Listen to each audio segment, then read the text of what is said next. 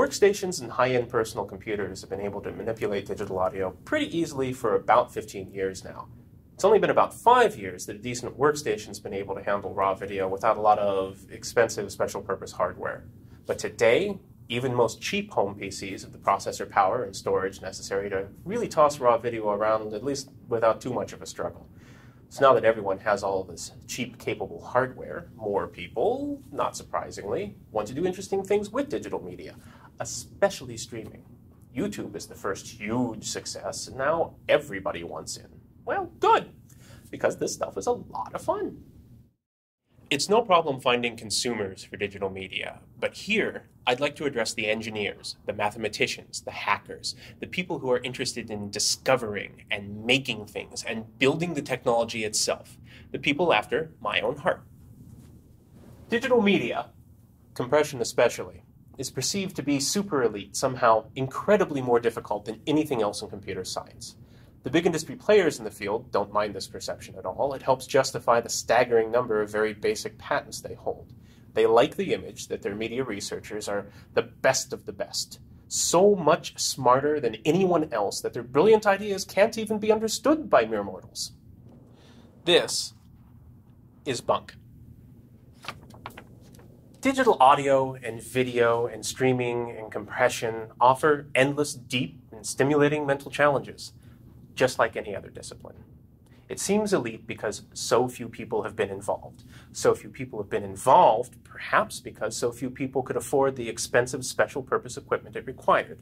But today, just about anyone watching this video has a cheap general purpose computer, powerful enough to play with the big boys. There are battles going on today around HTML5 and browsers and video and open versus closed. So now is a pretty good time to get involved. The easiest place to start is probably understanding the technology we have right now. This is an introduction. Since it's an introduction, it glosses over a ton of details so that the big picture is a little easier to see. Quite a few people watching are going to be way past anything that I'm talking about, at least for now. On the other hand, I'm probably going to go too fast for folks who really are brand new to all of this. So, if this is all new, relax. The important thing is to pick out any ideas that really grab your imagination. Especially pay attention to the terminology surrounding those ideas, because with those, and Google and Wikipedia, you can dig as deep as interests you. So, without any further ado, welcome to one hell of a new hobby.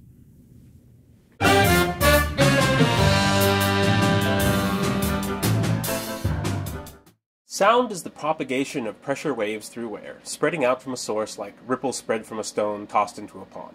A microphone, or the human ear for that matter, transforms these passing ripples of pressure into an electric signal. Right, this is middle school science class, everyone remembers this. Moving on.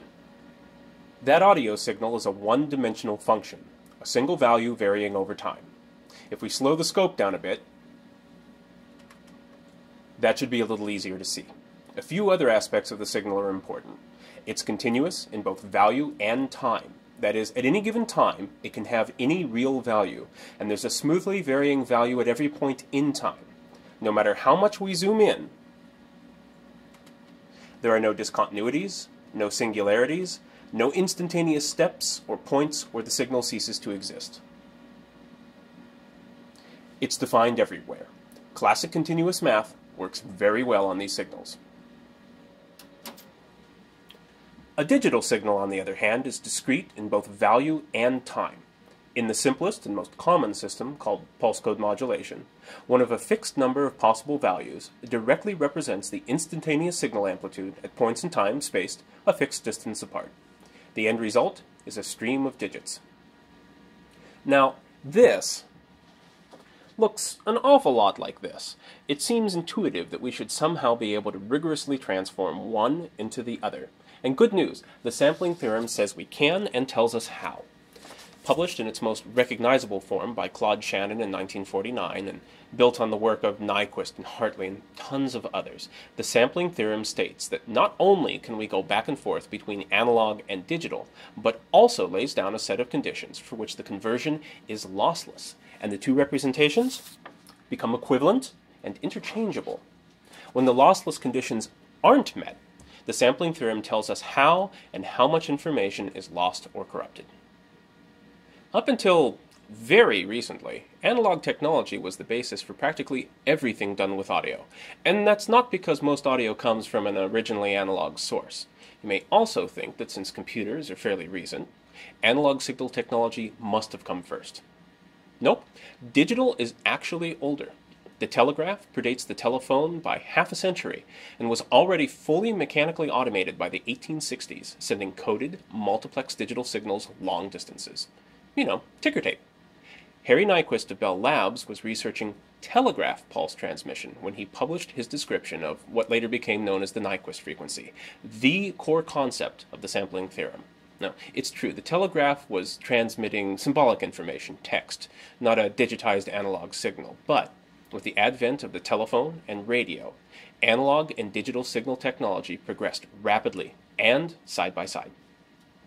Audio had always been manipulated as an analog signal because, well, gee, it's so much easier. A second order low pass filter, for example, requires two passive components. An all analog short time Fourier transform, a few hundred.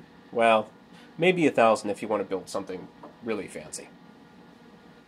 Processing signals digitally requires millions to billions of transistors running at microwave frequencies, support hardware, at very least to digitize and reconstruct the analog signals, a complete software ecosystem for programming and controlling that billion transistor juggernaut, digital storage, just in case you want to keep any of those bits for later. So we come to the conclusion that analog is the only practical way to do much with audio. Well, unless you happen to have a billion transistors and all the other things just lying around.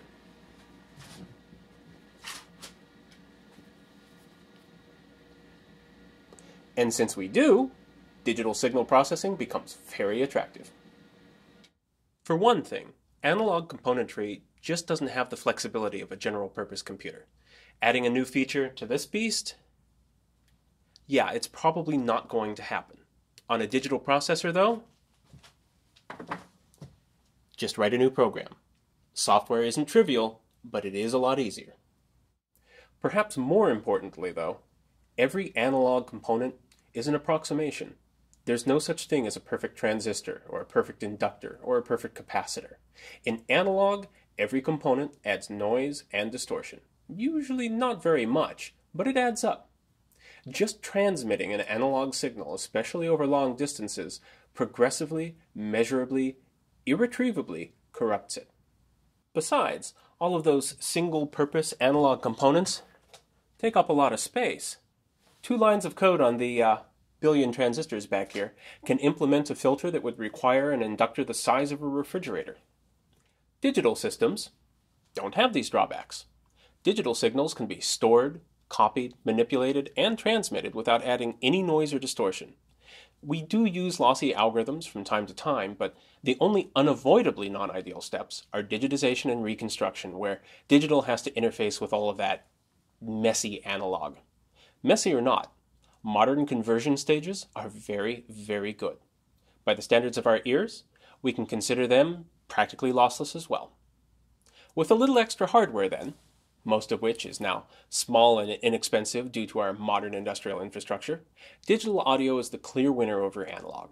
So, let us then go about storing it, copying it, manipulating it, and transmitting it. Pulse code modulation is the most common representation for raw audio. Other practical representations do exist, for example, the sigma delta coding used by the Super Audio CD, which is a form of pulse density modulation.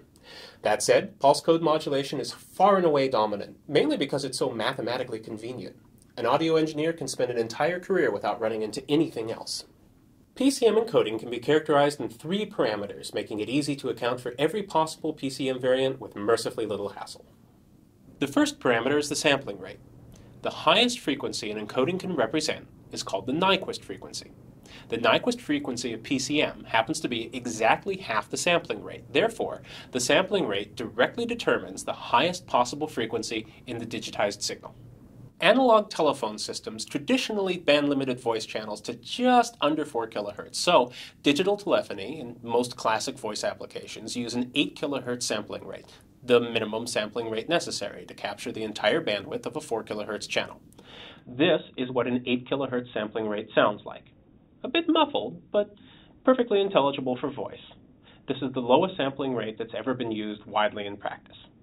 From there, as power and memory and storage increased, consumer computer hardware went to offering 11 and then 16 and then 22 and then 32 kilohertz sampling. With each increase in the sampling rate and the Nyquist frequency, it's obvious that the high end becomes a little clearer and the sound more natural. The compact disc uses a 44.1 kHz sampling rate, which is again slightly better than 32 kHz, but the gains are becoming less distinct. 44.1 kHz is a bit of an oddball choice, especially given that it hadn't been used for anything prior to the compact disc, but the huge success of the CD has made it a common rate. The most common high fidelity sampling rate, aside from the CD, is 48 kHz. There's virtually no audible difference between the two. This video, or at least the original version of it, was shot and produced with 48 kHz audio, which happens to be the original standard for high fidelity audio with video. Super high fidelity sampling rates of 88, 96, and 192 kHz have also appeared. The reason for the sampling rates beyond 48 kHz isn't to extend the audible high frequencies further, it's for a different reason. Stepping back for just a second, French mathematician Jean-Baptiste Joseph Fourier showed that we can also think of signals like audio as a set of component frequencies. This frequency domain representation is equivalent to the time representation. The signal is exactly the same, we're just looking at it a different way. Here, we see the frequency domain representation of a hypothetical analog signal we intend to digitally sample. The sampling theorem tells us two essential things about the sampling process. First, that a digital signal can't represent any frequencies above the Nyquist frequency. Second, and this is the new part, if we don't remove those frequencies with a low-pass filter before sampling, the sampling process will fold them down into the representable frequency range as aliasing distortion. Aliasing, in a nutshell, sounds freaking awful. So it's essential to remove any beyond Nyquist frequencies before sampling and after reconstruction. Human frequency perception is considered to extend to about 20 kilohertz. In 44.1 or 48 kilohertz sampling, the low pass before the sampling stage has to be extremely sharp to avoid cutting any audible frequencies below 20 kilohertz, but still not allow any frequencies above the Nyquist to leak forward into the sampling process. This is a difficult filter to build, and no practical filter succeeds completely. If the sampling rate is 96 or 192 kilohertz, on the other hand, the low pass has an extra octave or two for its transition band. This is a much easier filter to build.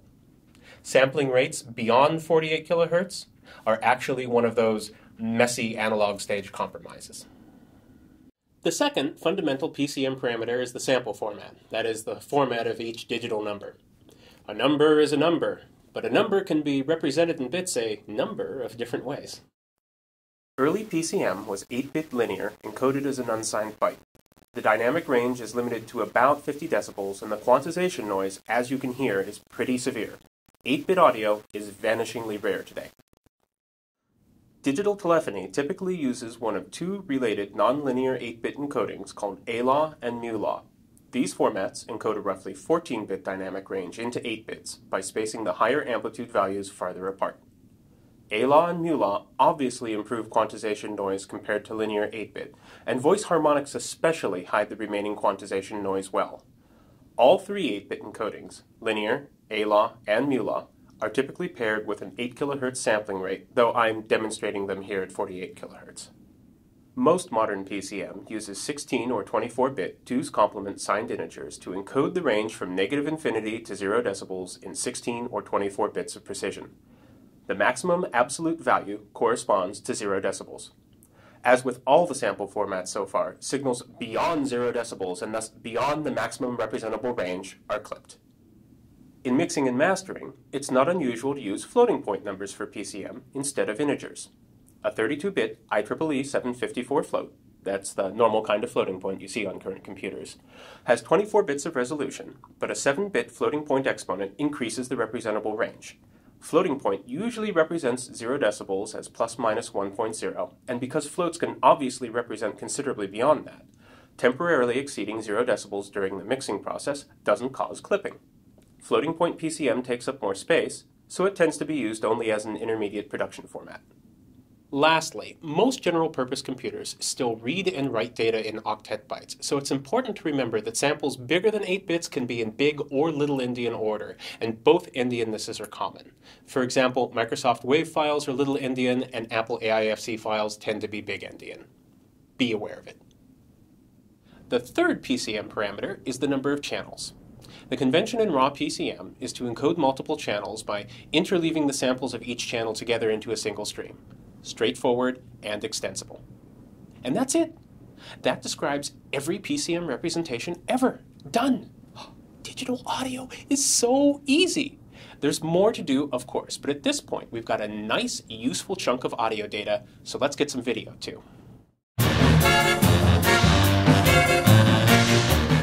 One could think of video as being like audio, but with two additional spatial dimensions, x and y, in addition to the dimension of time.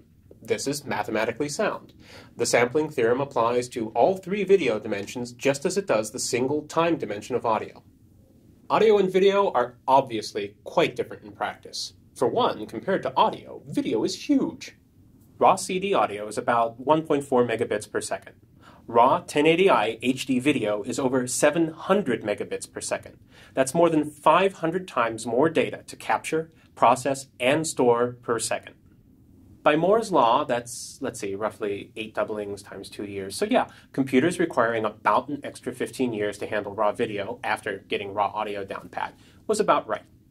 Basic raw video is also just more complex than basic raw audio.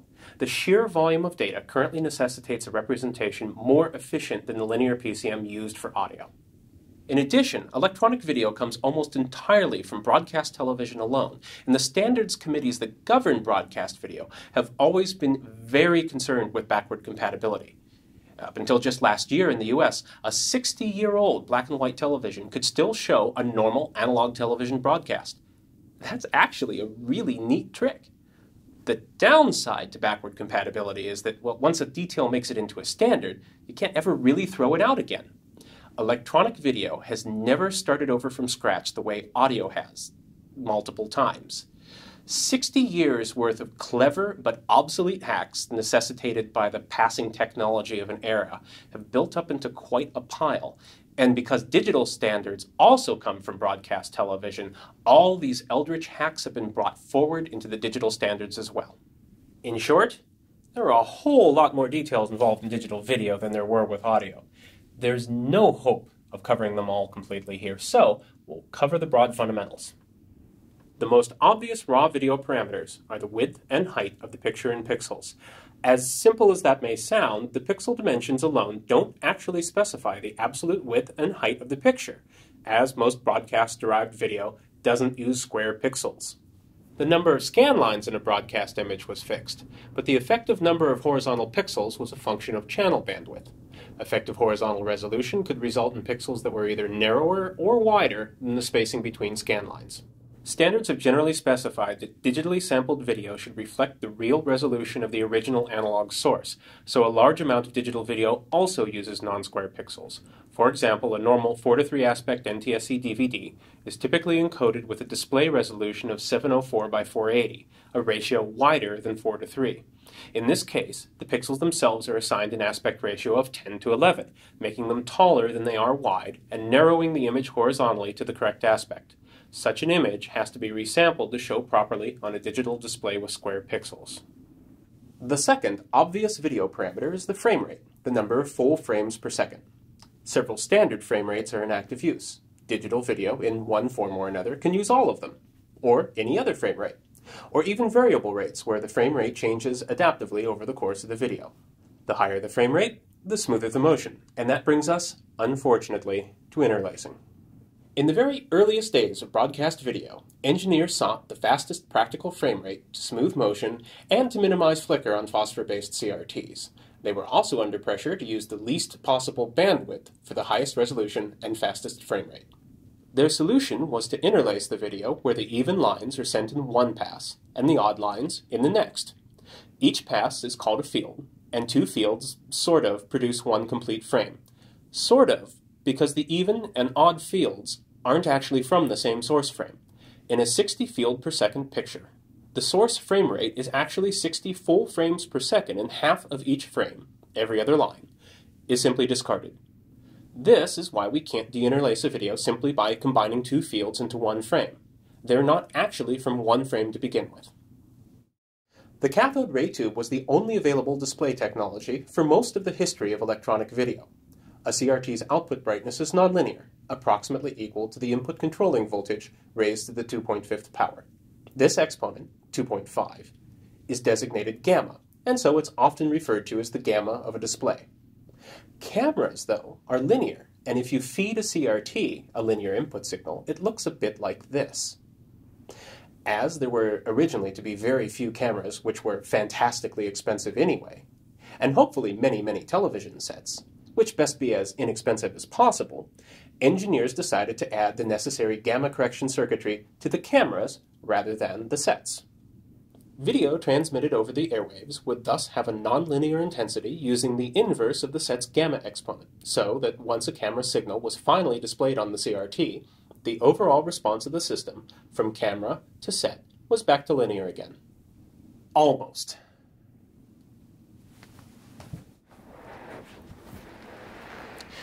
There were also two other tweaks. A television camera actually uses a gamma exponent that's the inverse of 2.2, not 2.5. That's just a correction for viewing in a dim environment. Also, the exponential curve transitions to a linear ramp near black, that's just an old hack for suppressing sensor noise in the camera. Gamma correction also had a lucky benefit. It just so happens that the human eye has a perceptual gamma of about 3. This is relatively close to the CRT's gamma of 2.5.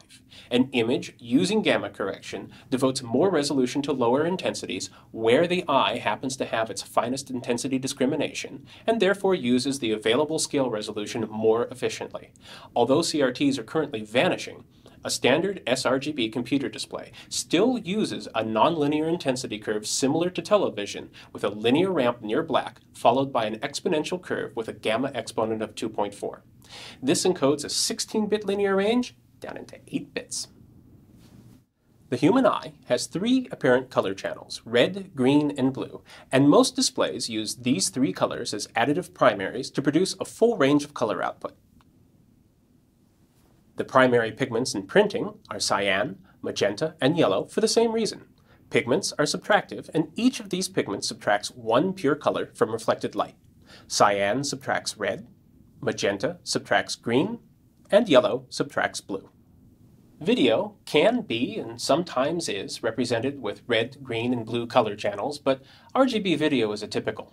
The human eye is far more sensitive to luminosity than it is the color, and RGB tends to spread the energy of an image across all three color channels. That is, the red plane looks like a red version of the original picture, the green plane looks like a green version of the original picture, and the blue plane looks like a blue version of the original picture. Black and white times three. Not efficient. For those reasons, and because, oh hey, television just happened to start out as black and white anyway, video usually is represented as a high resolution luma channel, the black and white, along with additional, often lower resolution chroma channels, the color. The luma channel, Y, is produced by weighting and then adding the separate red, green, and blue signals. The chroma channels, U and V, are then produced by subtracting the luma signal from blue and the luma signal from red. When YUV is scaled, offset, and quantized for digital video, it's usually more correctly called YCBCR, but the more generic term YUV is widely used to describe all the analog and digital variants of this color model. The U and V chroma channels can have the same resolution as the Y channel, but because the human eye has far less spatial color resolution than spatial luminosity resolution, chroma resolution is usually halved, or even quartered, in the horizontal direction, the vertical direction, or both, usually without any significant impact on the apparent raw image quality. Practically every possible subsampling variant has been used at one time or another, but the common choices today are 444 video, which isn't actually subsampled at all, 422 video, in which the horizontal resolution of the U and V channels is halved, and most common of all, 420 video, in which both the horizontal and vertical resolutions of the chroma channels are halved, resulting in U and V planes that are each one quarter the size of Y. The terms 422, 420, 411, and so on and so forth aren't complete descriptions of a chroma subsampling. There's multiple possible ways to position the chroma pixels relative to luma, and again, several variants are in active use for each subsampling. For example, Motion JPEG, MPEG-1 video, MPEG-2 video, DV, Theora, and WebM all use, or can use, 420 subsampling, but they site the chroma pixels three different ways. Motion JPEG, MPEG-1 video, Theora, and WebM all site chroma pixels between luma pixels both horizontally and vertically. MPEG-2 sites chroma pixels between lines, but horizontally aligned with every other luma pixel. Interlaced modes complicate things somewhat, resulting in a siting arrangement that's a tad bizarre. And finally, PAL-DV, which is always interlaced, places the chroma pixels in the same position as every other luma pixel in the horizontal direction, and vertically alternates chroma channel on each line. That's just 420 video. I'll leave the other subsamplings as homework for the viewer. You've Got the basic idea? Moving on. In audio, we always represent multiple channels in a PCM stream by interleaving the samples from each channel in order. Video uses both packed formats that interleave the color channels, as well as planar formats that keep the pixels from each channel together in separate planes stacked in order in the frame. There are at least 50 different formats in these two broad categories, with possibly 10 or 15 in common use. Each chroma subsampling and different bit depth requires a different packing arrangement and so a different pixel format. For a given unique subsampling, there are usually also several equivalent formats that consist of trivial channel order rearrangements or repackings, due either to convenience, once upon a time on some particular piece of hardware, or sometimes just good old-fashioned spite. Pixel formats are described by a unique name or 4CC code. There are quite a few of these, and there's no sense going over each one now. Google is your friend. Be aware that 4CC codes for raw video specify the pixel arrangement and chroma subsampling, but generally don't imply anything certain about chroma siting or color space. YV12 video, to pick one, can use JPEG, MPEG-2, or DV chroma siting, and any one of several YUV color space definitions. That wraps up our not so quick and yet very incomplete tour of raw video. The good news is we can already get quite a lot of real work done using just that overview. In plenty of situations, a frame of video data is a frame of video data. The details matter greatly when it comes time to write software, but for now, I am satisfied that the esteemed viewer is broadly aware of the relevant issues. So, we have audio data, we have video data. What remains is the more familiar non-signal data and straight-up engineering that software developers are used to. Oh, and plenty of it. Chunks of raw audio and video data have no externally visible structure, but they're often uniformly sized. We could just string them together in a rigid, predetermined ordering for streaming and storage, and some simple systems do approximately that. Compressed frames, though, aren't necessarily a predictable size, and we usually want some flexibility in using a range of different data types and streams. If we string random formless data together, we lose the boundaries that separate frames and don't necessarily know what data belongs to which streams. A stream needs some generalized structure to be generally useful. In addition to our signal data, we also have our PCM and video parameters. There's probably plenty of other metadata we also want to deal with, like audio tags and video chapters and subtitles, all essential components of rich media it makes sense to place this metadata, uh, that is, data about the data, within the media itself. Storing and structuring formless data and disparate metadata is the job of a container. Containers provide framing for the data blobs, interleave and identify multiple data streams, provide timing information, and store the metadata necessary to parse, navigate, manipulate, and present the media. In general, any container can hold any kind of data, and data can be put into any container. In the past 30 minutes, we've covered digital audio, video, some history, some math, and a little engineering. We've barely scratched the surface, but it's time for a well earned break. There's so much more to talk about, so I hope you'll join me again in our next episode. Till then, cheers.